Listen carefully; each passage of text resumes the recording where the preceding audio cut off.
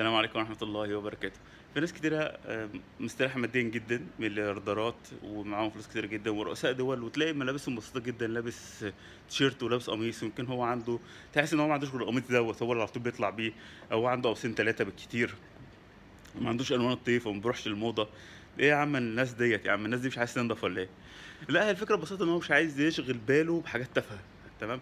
يعني هو بيقول لك إن ال إن الإنسان عنده قدر معين في اتخاذ القرارات كل يوم، فأنا مش عايز يبقى اتخاذ القرار هاكل إيه النهارده، هالبس إيه النهارده، فأنا عندي مثلًا أوباما رئيس أمريكا تقريبًا عنده هُم لونين بس من البِدَل، فبيصحى هُم اللونين ده، تلبس ده والّا ده، اللي ييجي في وشه بيلبسه، ما بيقعدش يتعب دماغه كده ويفتح الدولاب ويلاقي 500 ف قميص وفستان وبتاع ويقعد يقعد نُص ساعة يختار، فيرهق دماغه، لأ بيوفّر اتخاذ القرارات للقرارات الدولية والقرارات المصيرية، ونفس الكلام ده برضه كان في أينشتاين وعلماء كتيرة جدًا، ومارك زوكربيرج اللي هو رئيس الفيسبوك. تحس كده إن هو لابس تيشيرت كده زي اللي أنا لابسه كده ده تقريبًا ب5 ريال والّا حاجة، وبنطلون بسيط وشبشب بسيط، الموضوع بسيط جدًا، مش معقد ومش لازم يلبس حاجة سينيه ومش أنا رايح مشوار فاستلف ملابس من عند أي حد من صحابي، على أساس الناس ما تشوفنيش بنفس اللبس اللي شافوه ب السنة اللي فاتت.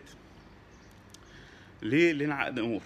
هتلاقي في بلدنا ملياردير آآ اتجوز ممثلة مشهورة وبعد شهر شهرين طلّقها، هو اتجوزها مش عشان بيحبها، هو اتجوزها مجرد بس إنه يبقى عنده حاجة حلوة في البيت م يتمنظر بيها، تمام؟ فموضوع المنظرة ده اللي مضيّعنا جامد جدًا يعني، يا ريت نبعد عنه، وهي عارفة كده فبتاخد منه مثلًا مؤخر كبير ب500، 600 جنيه، على أساس إن هو بعد ما تفشخر بيها عارفة إنها هتطلّق ويبقى طلع لها من الحظ جانب.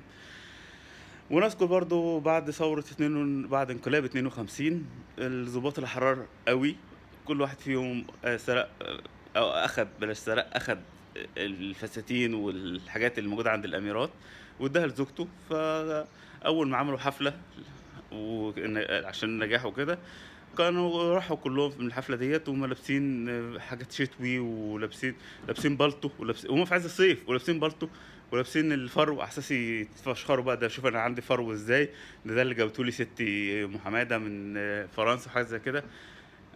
فشخرة على الفاضي وكان شكلها سخيف وكان شكلها الناس دي يعني مُحدثي نعمة، تمام؟ فأحسن حاجة تعيش على البساطة زي ما الرسول صلى الله عليه وسلم كان بيعيش على أبسط حاجة، البساطة أ يعني less is more يعني كل ما تكون الحاجة أسهل وأبسط، كل ما تخلّيك أنت سعيد في حياتك، وكلما عقدت الحياة وقعدت تجيب حاجات تتمنظر بيها والنيش والحاجات دي كلها، بقى تعقد نفسك، بتاخد مساحة من المكان اللي أنت عايش فيه، لمجرد المنظرة الناس ممكن تيجي وممكن ما تجيش. النيش دي أصلًا من النياشين، كانوا بيعلقوا فيها النياشين، إحنا بنجيبها نعلق فيها أكواب أكواب وأطباق وما حدش بيستخدمها. بساطة.